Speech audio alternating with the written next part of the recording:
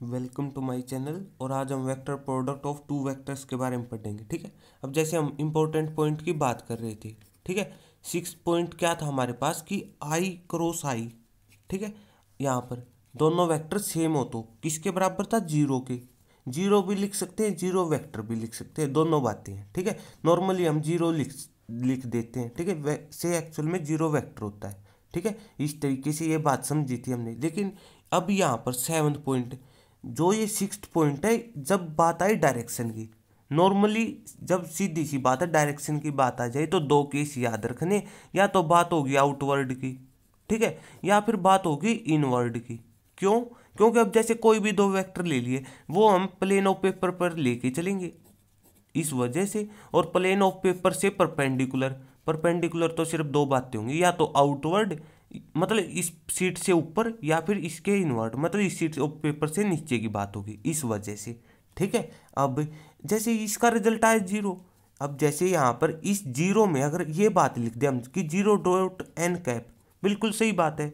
और इसी में अगर zero dot minus N cap लिख दे तो भी वही बात है, ज़ीरो इंटू समथिंग होना ज़ीरो।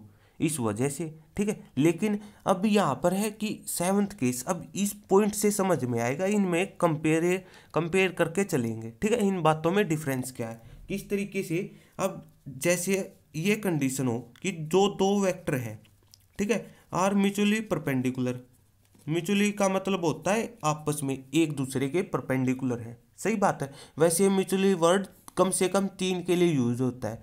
दो के लिए कोई बात नहीं, ठीक है? म्यूचुअली परपेंडिकुलर है। इस बात का मतलब क्या हुआ कि उन दोनों के बीच का एंगल 90 डिग्री है। सही बात है, उन दोनों के, दोनों वेक्टरों के बीच का एंगल 90 डिग्री है। जैसे सीट ऑफ़ पेपर की बात करें, इस तरीके से, ठीक है? जैसे मान लिया ये इस डायरेक्शन में ए वैक्टर है। बिल्कुल सही बात है। इस डायरेक्शन में मान लिया हमने बी वैक्टर है। सही बात है। मतलब सिर्फ़ इस एंगल की बात करें हम, ये है परपेंडिकुलर ये है थीटा इस वजह से, ठीक है? तो अब A vector cross B vector किसके बराबर हुआ यहाँ से? A vector cross B vector इस फॉर्मूले में वैल्यू पुट करनी है, ठीक है? दोनों वेक्टरों के मैग्नीट्यूड होंगे कुछ। साथ में साइन थीटा अब साइन थीटा कितना? 90 डिग्री तो साइन 90 कितना होता है? वन होता है। तो यहाँ पर इंटू में वन डॉट एन कैप ये बात है बिल्कुल सही, ठीक है? अब इसी से रिलेटेड ठीक है? इस रिज़ल्ट से रिलेटेड काम की बात है। किस तरीके से काम की बात है, वो है यूनिट वेक्टर से रिलेटेड ठीक है? यूनिट वेक्टर से रिलेटेड और वो भी मेन आई कैप और जे कैप और के कैप की बात करके चलेंगे, ठीक है? अब अब जैसे आई कैप अगर आई कैप क्रॉस इस तरीके की बात करें डॉट जे कैप लिख दिया। अब पहली बात तो ये लिखा क्यों? इसका मतलब क्या? I cap cross J cap I cap क्या था? यूनिट वेक्टर था। बिल्कुल सही बात है। और वो किस डायरेक्शन में था? प्लस एक्स एक्सिस की तरफ़ था, ठीक है? इस मतलब कहने का मतलब क्या है? अगर ग्राफ से समझे, ग्राफ से ये बात आसानी से समझ में आ जाएगी, ठीक है? मतलब यहाँ पर X axis unit vector I cap क्या है? यूनिट वेक्टर वो एक्स पर माइनस एक्स पर ए की बात है, ठीक है? बात करनी है हमने एक्स की और वाई की इस वजह से, ठीक है? अब जैसे कोई आई कैप इस पर कोई वेक्टर है, हो सकता है इस डायरेक्ट मतलब इस साइड हो, कोई बात नहीं, ठीक है? जिसकी डायरेक्शन तो यही होनी है, ठीक है? इस वजह से ये यहाँ पर है वाई एक्सिस ठीक है? और यहाँ पर है जेड एक्सिस इस तरीके से शो करते हैं सीट ऑफ़ पेपर पर, या फिर कह सकते हैं टू डी में, ठीक है? लेकिन ये एक्चुअल में इससे ऊपर है। सही बात है। अब आई क्रॉस जे किसके बराबर होगा? मतलब आई कैप ये रहा जे कैप ये रहा इस साइड कोई भी वेक्टर है। और इसी तरीके से जेड सही बात है। इसके लिए के कैप यूज़ करते हैं। के कैप यूनिट वेक्टर है जो जेड एक्सिस की तरफ़ है। बिल्कुल सही बात है। अब इन दोनों के बीच एंगल कितना बना? अगर आई क्रॉस जे की बात कर रहे हैं, दो एक्सिस एक्स और वाई एक दूसरे के परपेंडिकुलर है। परपेंडिकुलर का मतलब theta ninety degree theta ninety का मतलब साइन नाइन्टी साइन नाइन्टी होना वन सही बात है। किसके बराबर होगा? ये बात है काम की। बस ये फॉर्मूला अप्लाई करो। दोनों वेक्टरों का मैग्नीट्यूड आना है। आई कैप और जे कैप ये सिर्फ़ सिंबल है। हमें पता होनी चाहिए यूनिट वेक्टर जिसका मैग्नीट्यूड वन हो। इस बात का ये मतलब है मैग्नीट्यूड वन हो। तो जे कैप का भी वन होगा, साथ में के कैप के मैग्नीट्यूड भी वन होगा। बिल्कुल सही बात है, ठीक है? साइन थीटा कितना आएगा? नाइन्टी डिग्री है तो वन।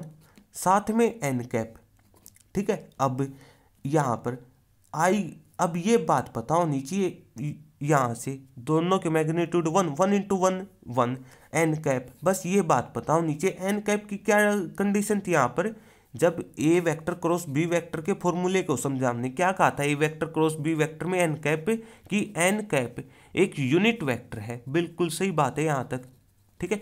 जिसकी डायरेक्शन इस तरीके से लिखी थी कि perpendicular to both A vector and B vector जो दोनों वेक्टरों के परपेंडिकुलर होगा, या फिर एक तरीके से कह सकते हैं कि दोनों वेक्टरों के प्लेन के परपेंडिकुलर होगा। बिल्कुल सही बात है।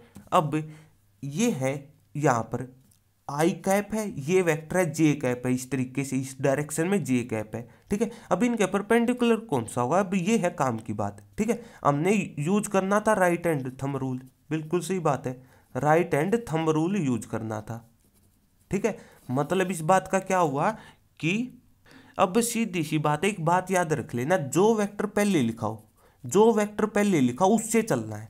यहाँ पर आई कैप है तो इससे चलेंगे। इस डायरेक्शन में दूसरे वेक्टर तक पहुँचेंगे। इस बात को इस तरीके से याद रख लो कि पहले वेक्टर से चलना है, दूसरे वेक्टर तक पहुँचेंगे और वो बताएगा हमें कि डायरेक्शन की, कौन सी डायरेक्शन की बात हो रही है। बिल्कुल सही बात है। अब थम रूल जैसे यहाँ से इस तरीके से यहाँ पर फिंगर्स को फोल्ड करना है, ठीक है? और ये डायरेक्शन अपवर्ड हुई, ये डायरेक्शन अपवर्ड की बात हुई। या फिर इस जेड एक्सिस भी तो अपवर्ड था, इन दोनों एक्सिस के परपेंडिकुलर और परपेंडिकुलर भी कौन सा? ऊपर वाला। और इस ऊपर वाले का नाम है के कैप ये पॉइंट है काम का। सही बात है, अब ये तो सिर्फ़ आधी बात है। अब आधी बात का मतलब क्या है? अब हो सकता है इसी तरीके से ये बातें लिख दे तो हम जे क्रॉस आई बिल्कुल सही बात है। ठीक है? तो J cap cross I cap का मतलब बताओ, पहले तो क्या हुआ?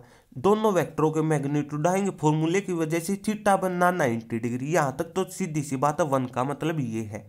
सही बात है। और एन कैप बताएगा डायरेक्शन के बारे में। J cap cross I cap का मतलब क्या है? जे कैप से चले हम। मतलब इस वाई यहाँ से चले अब की बार। और आई कैप तक पहुँचे। बिल्कुल सही बात है। अब इसको इस तरीके से पढ़ लो। ये इनवर्ड की बात हुई। इस तरीके से फिंगर्स को फोल्ड करना है। तो इनवर्ड की बात हुई। बिल्कुल सही बात है। और उस इनवर्ड में माइनस जेड आता है। ये बात हमें बताओ। ठीक है? ये जेड ऊपर है और ये माइनस का जेड इस सीट ऑफ़ पेपर से नीचे है, सीधी सी बात है।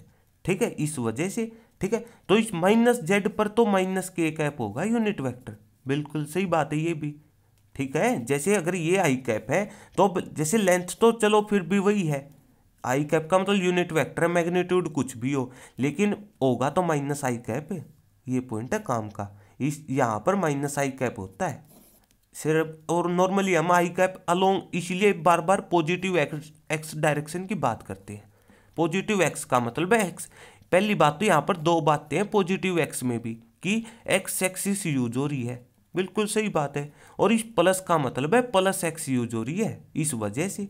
दो बातें यहाँ पर प्लस एक्स एक्सिस के लिए, ठीक है? और नॉर्मली हम आई कैप की बार बार इस ओरिजन से राइट साइड की बात करते हैं। इस वजह से नेगेटिव में तो माइनस आई कैप होगा। इस वजह से क्यों? क्योंकि अगर जैसे पॉइंट लिखते हैं माइनस वन लिखते हैं और यहाँ पर वन लिखते हैं इस वजह से माइनस वन क्यों लिखते हैं? क्योंकि वहाँ पर ज़ीरो से नेगेटिव साइड इस वजह से तो सेम बात ये मतलब जिसका मैग्नीट्यूड तो वन है ये मना नहीं कर रहे हम कि जिसका मैग्नीट्यूड तो वन है बिल्कुल सही बात है। लेकिन होगा तो माइनस आई कैप इस वजह से। तो जे क्रॉस आई किसके बराबर हुआ? वन तो आ, आया इन तीन फैक्टरों की वजह से। ठीक है? और साथ में एन कैप एन कैप की वजह से के कैप ज़रूर आएगा, लेकिन माइनस का आएगा, ये पॉइंट है काम का।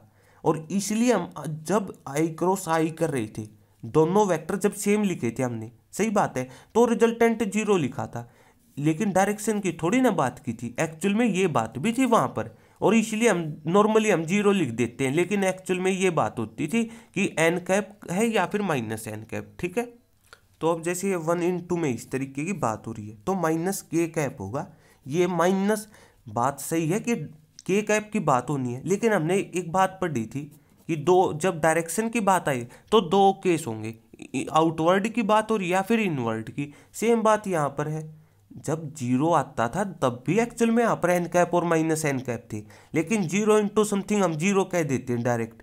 लेकिन यहाँ पर भी दो बातें हैं और यहाँ से वो दो बातें अलग अलग दिख रही हैं। इस वजह से तो सीधी सी बात है आई क्रॉस जे के कैप के बराबर होगा। लेकिन जब इसका रिवर्स करो मतलब जे कैप पहले लिखो, इसका मतलब है माइनस के कैप अब जैसे थीटा की तो हम डायरेक्ट ये कंडीशन कह देते हैं कि ये एंगल है।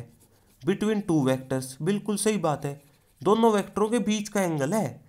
स्केलर प्रोडक्ट में इस पर इसलिए ध्यान नहीं दिया था क्योंकि स्केलर का मतलब सिर्फ़ तीन फैक्टरों की बात थी साइन थीटा इस जगह कोस थीटा था। वहाँ पर डायरेक्शन की बात ही नहीं करनी थी हमने, इस वजह से। ठीक है? लेकिन यहाँ पर तो डायरेक्शन की बात होगी आउटवर्ड या फिर इनवर्ड सीधी सी बात, और ये इस थ्री डी का केस है। मतलब थ्री डी का मतलब तीनों एक्सिस यूज़ हो, इस वजह से। ठीक है? परपेंडिक किसी प्लेन के परपेंडिकुलर तो थ्री डी की बात होगी, इस वजह से। ठीक है? तो सीधी सी बात है आई क्रॉस जे इस तरीके से होगा। ठीक है? तो अब यहाँ पर हम क्या लिख सकते हैं कि I cap cross J cap ठीक है? किसके बराबर होगा? के कैप के। इसी तरीके से सिमिलरली ठीक है? किस तरीके से रिज़ल्ट होगा? J cross K cap I cap के हो जाएगा? और अगर इसको याद रखना हो कि याद कैसे रखें? बस कुछ नहीं अल्फ़ाबेटिकल ऑर्डर में लिखना है। अल्फ़ाबेटिकल ऑर्डर किस तरीके से? अल्फ़ाबेटिकल ऑर्डर जैसे पहले आई आता है, फिर जे आता है, फिर के आता है सेम बात ये है। अगर आई से जे चले आना तीसरा है। क्रॉस प्रोडक्ट का केस है, ये बात याद रखनी है। अंसुर आना तीसरा, और ये सिर्फ़ आई क्रॉस के कैप इस तरीके से बात होनी चाहिए कि यूनिट वेक्टर की बात कर रहे हैं हम। I cap cross J cap cross K cap इस तरीके से, ठीक है? जैसे पर इक्वल टू है, ठीक है? इस तरीके से याद कर लो आई से जे चले आना तीसरा मतलब के आना है। लेकिन अगर सेम ऑर्डर में जा रही है सेम ऑर्डर में जा रही है, ठीक है तो प्लस का आ जाएगा। बिल्कुल सही बात है, ठीक है। और अगर इस, और अपोजिट ऑर्डर में आ रही है, ठीक है अपोजिट ऑर्डर में अल्फाबेटिक के अपोजिट ऑर्डर में आ रही है तो माइनस का आना है। तो सीधी सी बात है जे क्रॉस के तक सेम ऑर्डर है, ठीक है। तो सीधी सी बात है प्लस का आएगा। इसी तरीके से के क्रॉस आई किसके बराबर आएगा? K cap cross I cap K cap same तो यही हुआ। मतलब अब जैसे के के बाद की बात नहीं करनी हमने आई जे के जैसे आई लिख लिया जे लिख लिया के लिख लिया तो आई से जे के के आएगा। जे से के सीधी सी बात, इसका रिजल्टेंट आई कैप आएगा और के कैप से आई ये भी सेम ऑर्डर है, इस तरीके से। ठीक है? इस तरीके की बात कर रहे हैं सेम ऑर्डर की। ठीक है? तो इसका रिजल्टेंट तीसरा आएगा जे कैप इस तरीके से प्लस का आएगा और इसी से रिलेटेड अगर कभी इनका रिवर्स ऑर्डर हो जाए, किसी का भी रिवर्स ऑर्डर हो जाए, पहली बात तो आंसर आएगा तीसरा वेक्टर आई कैप आई जे और जो तीसरा बचा, इस तरीके से। और वो प्लस का होगा या फिर माइनस का होगा, वो ये दो बातें डिसाइड करेंगे, ठीक है? और इस तरीके याद रखना है तो अल्फ़ाबेटिकल ऑर्डर के हिसाब से चलना है। आई जे के आई जे के इस तरीके से लिख लो। आई से जे डायरेक्ट जा रही है। तो सीधी सी बात, प्लस जे से के के से आई भी सेम ऑर्डर है, ठीक है? ये भी बात याद रख लेना कि के से आई भी सेम ऑर्डर है। लेकिन आई से अगर डायरेक्ट के पहुँच जाओ, आई कैप से डायरेक्ट के, ठीक है? इस तरीके से तो इसका मतलब है अपोजिट ऑर्डर तो माइनस का आएगा तीसरा, वो है जे कैप, इस तरीके से, ठीक है? अगर आपको मेरी वीडियो अच्छी लगी तो इसको लाइक कीजिए और मेरे चैनल को सब्सक्राइब कीजिए। तब तक के लिए थैंक यू।